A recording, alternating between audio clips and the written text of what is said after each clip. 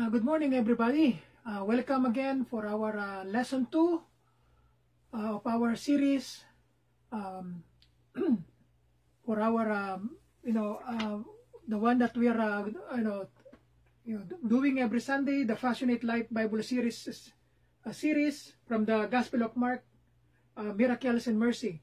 Is it a 12-week study guide for all of us that we will benefit to this series? So May 31st to 2020. So welcome again for our sen, uh, you know second Sunday of our lesson to come and uh, follow me. And this is the this is our topic uh, this morning, taken from the uh, Mark chapter 1 verse 14 uh, up to chapter 3 verses uh, you know 1 to 6. So welcome to our uh, Sunday school, Achilles, Achilles Street Christian Church, and I want to welcome you. Okay, so let's uh, begin on our uh, Sunday school and uh, uh, let's bow our head uh, before we start and let's pray. Our Father in heaven, we want to thank you today that you have given to all of us the time to, to listen to your word and and uh, to be with other in spirit. Thank you, Lord, for today that we have a opportunity to to to to teach and preach your word through this deep, uh, technology that we have. Thank you, Lord, for your guidance and be, be upon each one of us as we uh, follow your word to, uh, at this moment. Thank you, Lord, for everything that you have given to us. In Jesus' name we pray. Amen. Okay, so bring your Bible with you or uh, open your book from the Gospel of Mark, chapter 1. Uh, we will start on uh, verse 14 of our uh, series, the Passionate Life Bible Study series from the Gospel of Mark. Miracles and Mercy. Okay, so let's uh, begin on our lesson 2. Come, follow me. At last, the fulfillment of the age has come. It is time for the realm of God's kingdom to be experienced in its fullness. Let's turn our lives back to God and put our trust in the hope-filled gospel. Imagine you are a young Jewish man in the first century Galilee. One day, a recognized holy man and teacher does something incredible. He says to you, Come, follow me. This would have been highly unusual because most teachers or rabbis in the time of Jesus, as they were called, were sought out by others. They didn't do the seeking. Interested students were sought out by others. They didn't do the seeking. Interested students would seek out, seek a teacher and ask him whether they could follow, not the other way around. So imagine their surprise when Simon Peter, Andrew, James, and John were invited to follow Jesus. We are invited to do what this man did in response. Leave behind our former life and follow him into his new one to experience God's kingdom. When we do, we will discover what the disciples discovered. The acceptance, the healing, and the love of the one who came not to call the religious elite, but everyday people who actually need the hope of a Savior. So Jesus said the kind of life we have been waiting for has come. It is ready to enjoy when we follow Him into fit, into it. Have you answered this call? Continue reading Jesus' wonderful story and discover why He is who you have been waiting for for your whole life. I want to share with you 10 points from the Gospel of Mark about how Jesus ministered and live and and uh, preach and teach and heal people according to their needs. First, the first disciple of Jesus begins in verses 14 to 19. in verses 14 to, to 15, if you have the Bible with you, uh, turn on chapter 1 of Gospel of Mark, verses 14 to 15, and, and follow along with me. So while you're reading the verses, what is the good news? These first words spoken by Jesus in the book of Mark give the core of his teaching that the long awaited Messiah has come to begin God's personal reign on earth. Many of the people who have heard this message since Jesus came have been oppressed, poor, struggling to make ends meet, and without hope. Jesus' words are good news because they offer freedom, spiritual blessings, and most importantly, the promise of eternal life in a perfect world where justice and peace prevail. In verses 16 to 19, you will see that we often assume that Jesus' 12 disciples were great men, faith from the first time they met Jesus. But they had to grow in their faith just as all believers do. This is apparently not the only time Jesus called Peter James and John to follow him, although it took time for Jesus' call and his message to get through.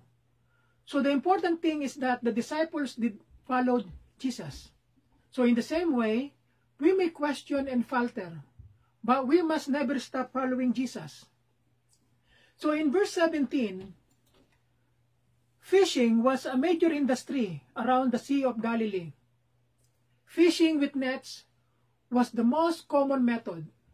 Jesus called the disciples to fish for people with the same energy they had used to fish of food. So the gospel would, would be like a net, lifting people from dark waters into the light of day and transforming their lives.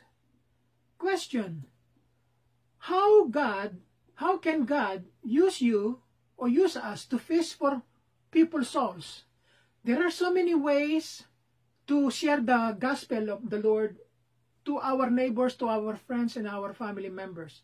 God gave us a talent and a wisdom and understanding and and skills how to talk to different people in our community. So discover what you have in yourselves. If you are good in something, Maybe that's that's the one that God gave you to use to share the word of God to to to so many people around you that you can share the word of God to them.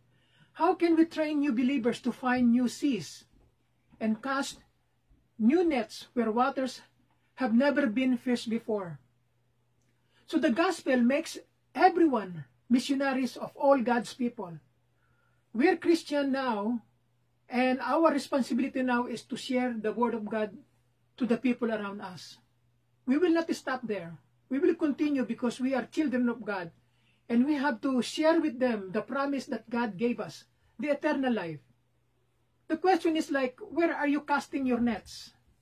So that is that is the challenge to you for, for this lesson. So let us uh, let's be encouraged that God will use us one day. Okay?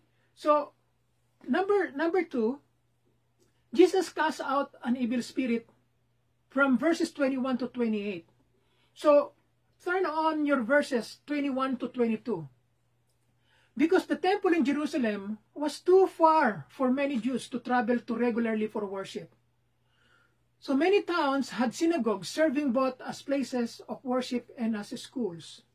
So beginning in the days of Ezra, around 450 BC, a group of 10 Jewish men could start a synagogue.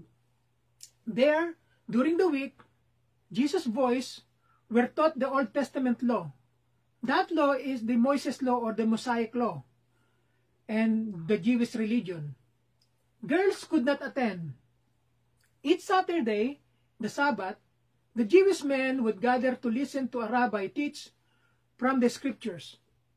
Because their synagogue had no permanent rabbi or teacher, it was customary for the synagogue leader to ask visiting teacher to speak or visiting rabbi to speak. Therefore, Jesus often taught in the synagogues in the towns he visited. So while the Jewish teachers often quoted from well-known rabbis to give their words more authority. So Jesus did not need to do this because Jesus is God. He knows exactly what the scriptures say and mean because he is the ultimate authority. So in verse 21, Jesus had recently moved to Capernaum from Nazareth, according to Matthew chapter 4, verse 12 to 13. So from Nazareth to Capernaum by bus is 2 hours and 30 minutes. When I went to Israel two, uh, two years ago, um, our bus uh, um, traveled from Nazareth to Capernaum. You know, it's two hours and, and, and 30 minutes. So you can see a lot of different places when, when you are traveling by bus. But if you love hiking and walking, there is a name given to this to this trail. The name is the Jesus Trail. It is a 65 kilometer hiking and pilgrimage route in the Galilee region of Israel that traces the route Jesus may have walked, connecting many sites like Cana and the Mount of Beatitudes from his life and ministry. So it can be covered in the space of four days. So it starts in Nazareth, known as the city where Jesus grew up, and goes all the way to Capernaum via, uh, via Sipori, Cana, 15, 15 kilometer walk, walking from Nazareth, Kibbutz Lavi, 13.9 kilometer from Cana, and Moshav Arbel and Mount of, of Beatitudes, 17 kilometer from Kibbutz Lavi. And from uh, Moshav Arbel to Capernaum is 18 kilometer. So, when I was there, um, I've been to uh, Capernaum, Nazareth, Cana, and Kibbutz Labi. So I spent two nights in Kibbutz Labi. And uh, while we are there, um, you know, a lot of uh, people in our group uh, went outside and imagined that uh, the Lord walked around the area because uh, according to the um, to the person who are um, you know um, managing the the kibbutz labi because kibbutz means in Hebrew is is like um, it's like a, a village, okay, or a place to to you know where people are gathered around and and, and make a living through through uh, planting vegetable, raising cattle and poultry and and, and and everything. So it it was called kibbutz. So it's a place uh, in in Lavi. So they name it the you know uh, the place. So I've been also to um, Mount of Beatitude. So so I saw all of this, uh, you know, area. Then it's it it pretty, uh, pretty much crosses the entire region of Galilee. So if you if you look at to the uh, to the background, this is the uh, the uh, the Galilee uh, region in the northern you know part of Israel. The middle part is the uh, the Samaria, and then the the the south part is the Negev, which is the Judea. Okay, so, so there are three different area in Israel, three, three, three sub, uh, you know, um, uh, group of, of territories, you know. So, so I will tell you later about, you know, how this area become, become divided in the time of, of, of Jesus. So, it pretty much crosses the entire region of Galilee, though to be a crossroads of cultures and a gateway for trade since human being have been living there. So in the time of Jesus, Capernaum was a thriving town with great wealth, as well as great sin and decadence, because it was the headquarters for many Roman troops. Pagan influence from all over the Roman Empire were uh, pervasive. This was an ideal place for Jesus to challenge both Jews and non-Jews with the good news of God's kingdom.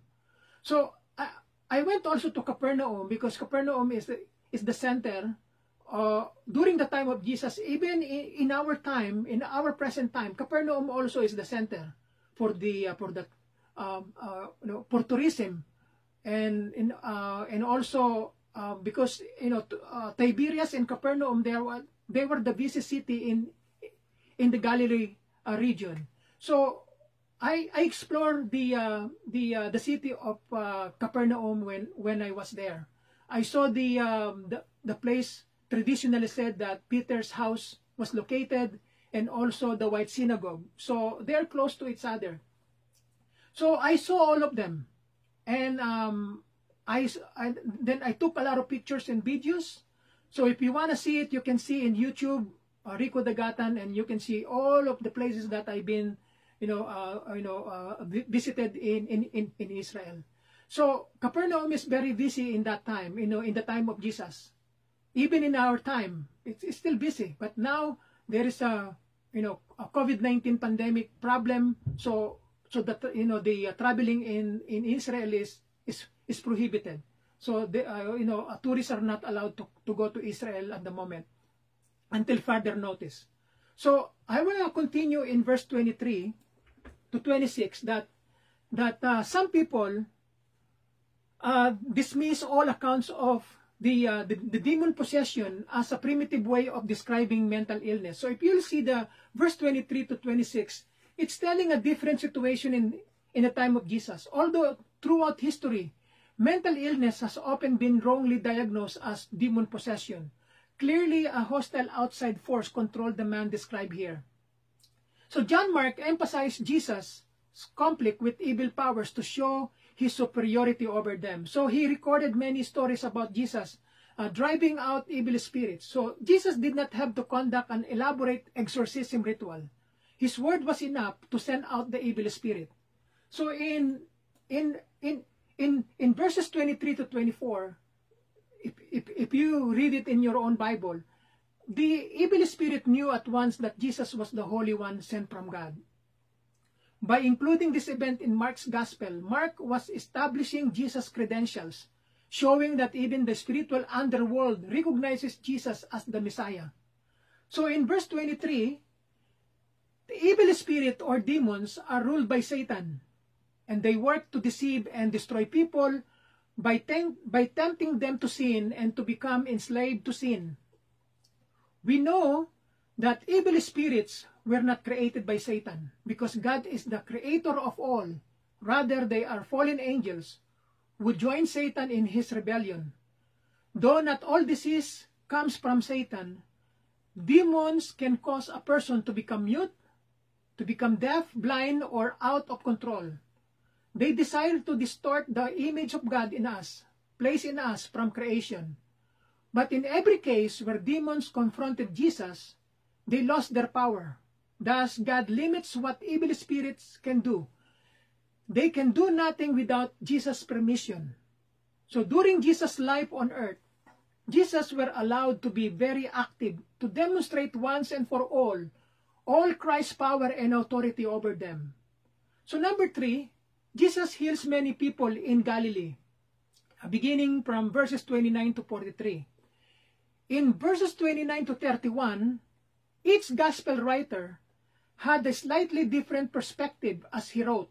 Thus, the comparable stories in the Gospels often highlight different details. In the Gospel of Matthew, Jesus touched the woman's hand. In, in the Gospel of Mark, he touched her hand and helped her sit up. In the Gospel of Luke, he spoke to the fever and it left her. The accounts do not conflict just as four people might witness the same event and all recounts detail, uh, different details. So each gospel writer emphasized different details of this story in order to highlight certain characteristic of Jesus. In verses 32 to 33, the people came to Jesus in the evening after sunset. That that day had been the Sabbath, according to verse 21, their day of rest lasting from sunset Friday to sunset Saturday. The Jewish leaders had proclaimed that healing on the Sabbath was against their religious law according to Matthew chapter 12 verse 10 and Luke chapter 13 verse 14. The people did not want to break this law or the law that prohibited traveling on the Sabbath, so they waited.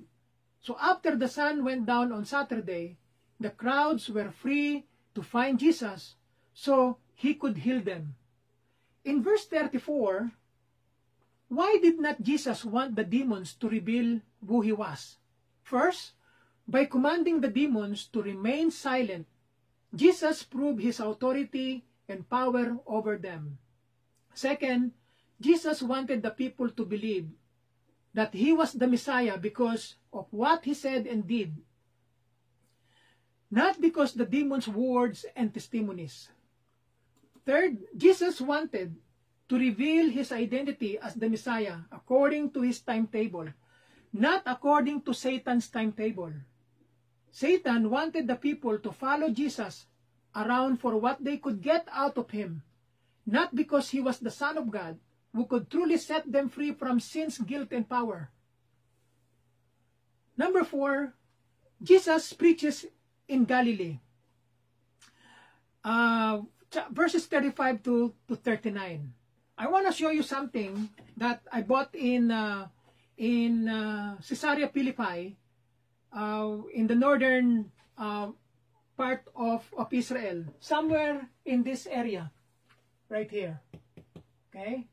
So, I bought this to, to keep us as remembrance and use this as, as a tool when I uh, teach and preach the, uh, the, the word so that people will understand what I'm talking about. So in this poster, uh, usually supposed to be like this. So this is this is the right, uh, you know, standing map. This is the uh, north, and this is the south, and this is the east, and this is the west. So I will do this because because the letters are in this level. So we are now facing west. This is east. This is south, and this is north. Okay, so Jesus preached and teach in the Sea of Galilee in the Galilee region. So, so, so most of these places Jesus visited, and and every places and villages that Jesus went, he he did a lot of miracles, you know, healing different people from their diseases, and and a lot of people believe in Jesus as the Lord and Savior, and and um, the uh, the the places that Jesus always went to, you know, like from, from Nazareth to Capernaum, this is Nazareth, his, his hometown, and this is uh, Cana, where he, um, uh, you know, changed the water to wine, the first miracle or the first sign. So from, from Nazareth to Cana and then Cana to, to Tabgha, where Jesus changed uh, and then uh, multiplied the, the fish and the bread okay? Then and then feeds uh, you know more than 4000 people you know in his time. So this is tabgha and this is the mount of beatitudes where he delivered his uh, you know sermon in the mount. I saw all of this when i went there two years ago. So so from here mount of beatitudes jesus went uh, jesus and his disciples went to capernaum. So this is capernaum so jesus always going back and forth to this to these places you know, and and uh, this is this is his uh, his uh, trail, you know, he walks. So, um, according to the uh, to the Jewish people and Israeli people who love hiking and walking, it took four days to walk from Nazareth to to Capernaum. So, let me continue about Jesus preaches in Galilee. In, in verses 36 to 38, Apostle Peter and, and the other disciples seems to have had an agenda for Jesus. But Jesus was determined to preach. We must be careful not to expect the Savior to do our will. Instead, we must submit to Jesus and what He wants to do in us and through us, not us to Jesus. So in verses in verse 39, the Romans during the time of Jesus or before the birth of Jesus divided the land of Israel into three separate regions. The Galilee in the north, and this is the Galilee, and then the Samaria in the middle, and Judea in the south. All right? So, Jesus, you know, did much of his ministry in this area because Galilee was the northernmost region, an area about 60 miles long and 30 miles wide. It was an ideal place for Jesus to teach because there were over 250 towns concentrated there with many synagogues around. So number five, Jesus heals a man with leprosy, beginning from verses 40 to 45. In verses 40 to 41, in keeping with the law of Moses in Leviticus chapter 13 and 14, Jewish leaders declared people with leprosy unclean. Okay, so we are in, sorry, uh, we are in, uh, yeah, that's right. So, leprosy was considered an extremely contagious skin disease. All right? This means that people who had leprosy were not able to participate in any religious or social activities. Sometimes the uh, leprosy and the COVID-19 pandemic disease or, or virus, they're almost similar in, in, in appearance because in our time,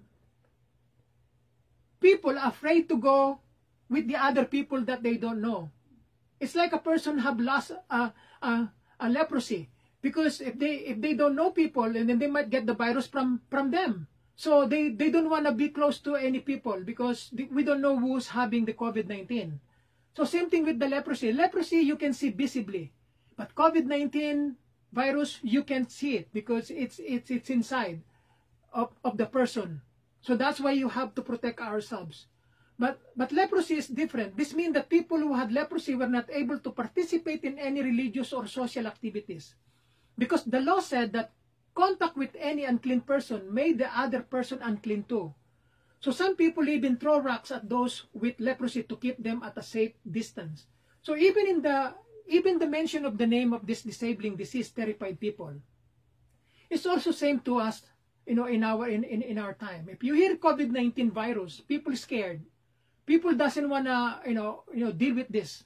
They stay home. They don't wanna you know you know uh, you know unless uh, they they go out to buy their food, you know, and but but just to go for no reason, they don't wanna go out because they're afraid. So even even you know when when mention of the name of this disabling disease terrified people. So how outstanding it was then when Jesus reached out and touched this man who had leprosy. He is God, so he could heal himself. However, we must note that this great compassion for this man moved him to break long-standing rules and traditions and take the risk of touching and healing this desperate man. The Jewish religious leaders had lost sight of the intent of God's word. They had put more priority on following their human-made rules than helping, serving, and blessing others. The real value of a person is inside, not outside. And although a person's body may be diseased or deformed, the person inside is no less valuable to God. In a sense, we are all like the people with leprosy in the Bible because we have all been deformed by the ugliness of sin. By sending His Son, Jesus Christ, God has touched us, giving us the opportunity to be healed. In verses 43 to 44, Although leprosy itself was incurable, many different types of skin diseases were classified together as leprosy. So according to the Old Testament law about leprosy in Leviticus chapter 13 and 14, when a person who had one of these diseases was cured, he or she had to go to a priest to be examined. Then the healed person was to give a thank offering at the temple in Jerusalem. Jesus demonstrated his complete regard for God's law by adhering to it and sending this man to the priest. Sending a person healed of leprosy to a priest would also have certified to the community that this person was allowed to return home. So Jesus always adhered to God's law found in the scripture, but he did not always uphold the additional laws made up by the religious leaders, which unlike God's laws or Mosaical laws were not designed to help us love God and our neighbors. That is the truth. So number six, Jesus heals a paralyzed man in, in, in Galilee uh, in chapter 2 verses 1 to 12. If you look uh, on your Bible on chapter 2 verse 3, the paralyzed man need move his friends to action and they brought him to Jesus. When you recognize someone's need, do you act? Of course. Many people have physical and spiritual needs you can meet, either by yourself or with others who are also concerned. Human need move these four men.